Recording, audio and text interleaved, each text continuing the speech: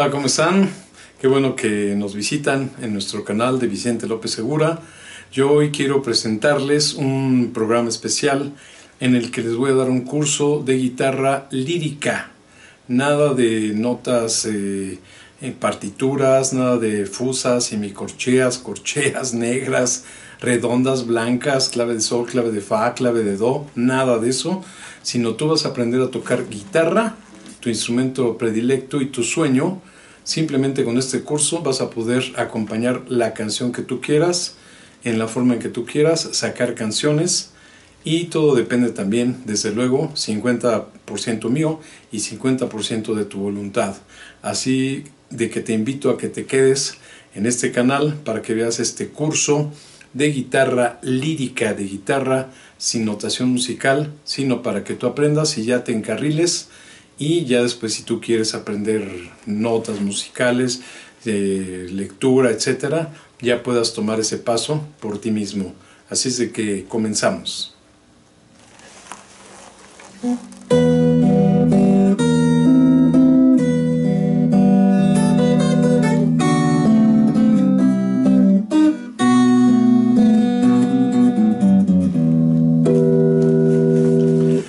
Hola, ¿cómo están? Bienvenidos a este curso de guitarra lírica, de guitarra muy fácil porque va a ser un curso en el que tú no vas a tener que aprender las negras, las corcheas, las semicorcheas, las fusas, semifusas, ni estar eh, batallando con el pentagrama ni nada, sino tú vas a aprender líricamente, como yo aprendí a los 15 años, hace muchos años, con las canciones de los Beatles, y después vas a poder tocar lo que tú quieras en la guitarra, acompañar lo que tú quieras e inclusive sacar las canciones de, los discos o de tu música predilecta.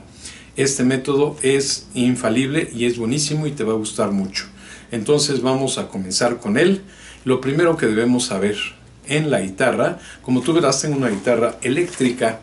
Una guitarra eléctrica porque me han preguntado que cuál es la diferencia de tocar una eléctrica con una guitarra de caja, inclusive dicen, ay no, yo no voy a tomar clases porque mi guitarra es eléctrica. Pues es lo mismo, tú puedes tomar clases de guitarra con una eléctrica o con una clásica o con una electroacústica.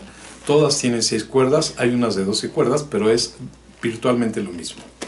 Lo que te quiero decir, que te tienes que aprender de memoria para empezar y es muy importante, y eso sí, te lo dejo de tarea, depende de tus ganas, 50% van a ser mías y 50% van a ser tuyas. Yo solo te pido 10 minutos de estudio cada día. Si tú sumas esos 10 minutos por 365 días, imagínate todas las horas que vas a haber estudiado guitarra, pero tienen que ser con una disciplina 10 minutitos, 10 minutitos. Muy bien, ahora lo que podemos hacer, lo que vamos a aprender es que la guitarra tiene 6 cuerdas y las cuerdas tienen un nombre, un nombre musical. Ese nombre musical es la forma en que se afina la guitarra.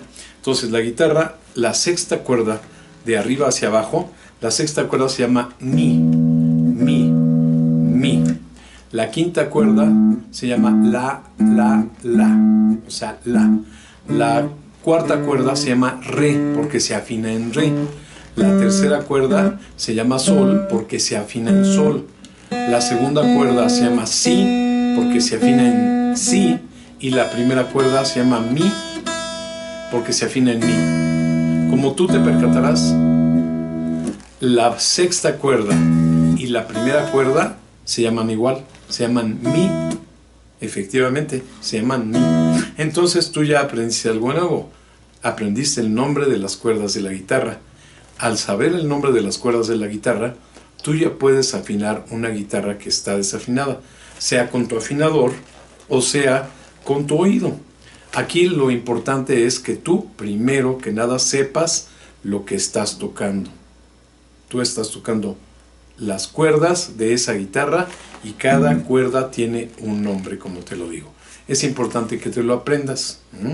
Ahora, al saber ese nombre, entonces usamos un afinador pero los afinadores generalmente vienen en el lenguaje internacional descifrado, así se le llama, a la manera de simplificar el nombre de las notas musicales. Las notas musicales, además de en español que se llaman do, re, mi, fa, sol, la, si, do, en el lenguaje internacional descifrado tienen los nombres del abecedario.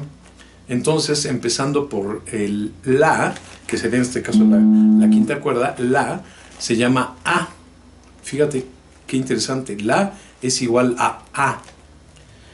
Luego, Si es igual a B. B. Si es igual a B. Luego, Do es igual a C. ABC. La, si, do. ABC, la, si, do. Sería el, el nombre correcto en el cifrado. Luego la D de dedo es re. D de dedo, re. ABCD. Luego la E es la mi, mi. Entonces tú en tu afinador vas a ver que te va a aparecer una E cuando suenes esta cuerda o la primera. Quiere decir que está en mi, o sea que estás afinando bien mi. Luego F es casi igualita a Fa. F, la primera letra de Fa. Y la G es Sol. Cuando tú veas una G, ya vas a saber que hay un Sol. En, alguna canción arriba dice G, dices, ah, mira, esta va en Sol, este es un Do porque está una C, este es un Re porque está una D de dedo, este es una, un, un Mi porque está una E, y así, si te eh, percatas, es A, B, C, D, E, F y G, son siete, siete son las notas musicales y volvemos a empezar. A, B, C, D, E, F y G. La, si, do, re, mi, fa, sol. La, si, do, re, mi, fa, sol. Entonces, por esto te, es muy importante que te aprendas, que tú sepas esta escala que es la clásica, que es... Pero no tocada con la guitarra, sino Do, re, mi, fa, sol, la, si, do. Do, re, mi, fa, sol, la, si. Aquí puedes ver del lado izquierdo las cuerdas que te dije, cómo se llaman y cómo se afinan. La sexta mi, la quinta la, la cuarta re, la tercera sol, la segunda si y la primera mi. Si te fijas, como dijimos, la sexta y la primera se llaman igual mi y mi. Y también de abajo hacia, de abajo hacia arriba serían mi, la, re, sol, si y mi. Y en el cifrado, que también te lo estaba comentando, en el cifrado la A es igual a la, la B es igual a si, la C es igual a do, la D es igual a re, la E es igual a mi, la F es igual a fa y la G es igual a sol. El sostenido es como un gato, ese símbolo, y, el, y una B grande es el bemol. Cuando veas eso, quiere decir que son notas intermedias entre algunas de las otras notas. Entre la y si, por ejemplo, hay un la sostenido. Pero si vas para abajo, eh, sería un si bemol. Eso luego lo veremos. Pero no tocada con la guitarra, sino do, re, mi, fa, sol, la, si, do. Do, re, mi, fa, sol, la, si, do. Es muy importante que nos lo aprendamos. Do, re, mi, fa, sol, la, si, do. Porque si de pronto te dicen, si esta es mi, esta es fa. Porque sigue mi, fa, sol, la, do. Mi, fa, fa sostenido y sol. Aquí fue un ejemplo que después lo vamos a ver, pero es importante, es fundamental que tú sepas esa escala. Do, re, mi, fa, sol, la, do. Para que sepas en dónde vas a estar pisando en tu guitarra. Y simplemente sabiendo eso, esto es el 80% del comienzo de, para que tú puedas después poner las pisadas que tú quieras. Ya no vas solamente a tocar, sino vas a saber en dónde estás tocando, que eso es muy importante y súper sencillo si tú te aprendes en los nombres de la guitarra, de las cuerdas de la guitarra, y si tú te aprendes cómo van afinadas con ese afinador, que es con el cifrado internacional de A, B, C, D, E, F y G. Cualquier duda me puedes dejar tus comentarios y con mucho gusto la aclaramos. Bueno, en segundo lugar, cada espacio que tú ves aquí en la guitarra se llaman trastes. Y si tú te fijas, esta guitarra, por ejemplo, tiene marcado el tercero, el quinto, el séptimo, y luego el octavo y el doceavo. ¿Por qué? Porque aquí, al llegar al doce, se va a repetir el mismo tono. Mi, mi, mi, mi. Es decir, ahí ya llegamos a los siete tonos para volver a llegar al mi. Mi, fa, sol, la, si, do, re, mi. Entonces, eh, aquí vuelve, haz de cuenta que vuelve aquí a empezar la guitarra. Cada 12, si hubiera más trastes, a los 12 trastes otra vez, llegaríamos otra vez a un mucho más agudo mi, a un mucho más agudo fa, a un mucho más agudo sol, etc. Pero es importante saber esto porque es la base de todo. Ahora, en este curso les vamos a poner un nombre diferente a los dedos de cada mano.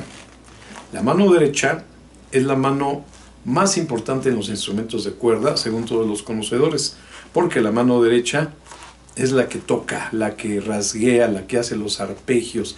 Arpegios quiere decir notas separadas, acordes quiere decir notas juntas. Entonces los arpegios separaditas, eso nos ayudan los deditos. Hay gente que toca con una plumilla, también las puede hacer separando la plumillita. Aquí lo importante es que sepamos que la mano derecha la vamos a denominar en este curso con los con la primera letra de los nombres de cada dedito.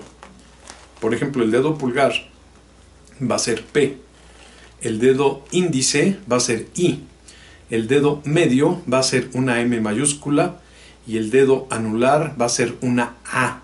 El dedo meñique en la mano derecha casi no se usa más que en algunos rasgueos, entonces aquí nada más vamos a usar cuatro dedos fundamentalmente en este curso.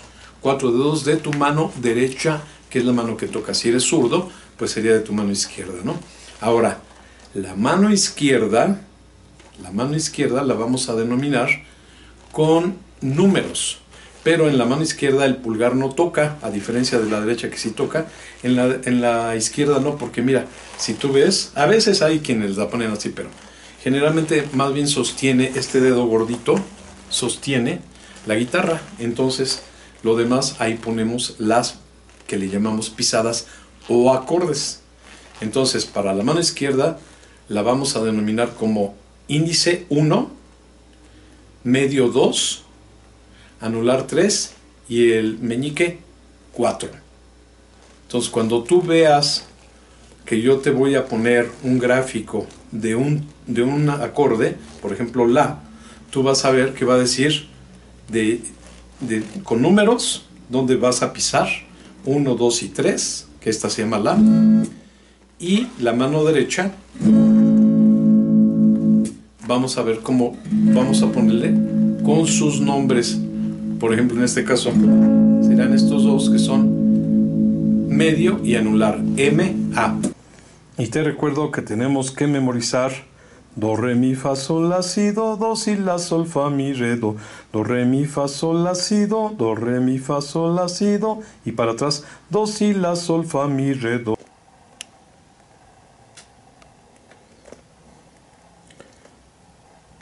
Te recuerdo la mano izquierda va a ser con números. Ahí ves los números, el índice 1, el medio 2, el anular 3 y el meñique 4 de la mano izquierda. Y de la mano derecha va a ser con letras P, pulgar, I índice, M medio, A anular y M chiquita meñique que casi nunca toca. P, I, M, A es de la mano derecha y de la mano izquierda va a ser con números.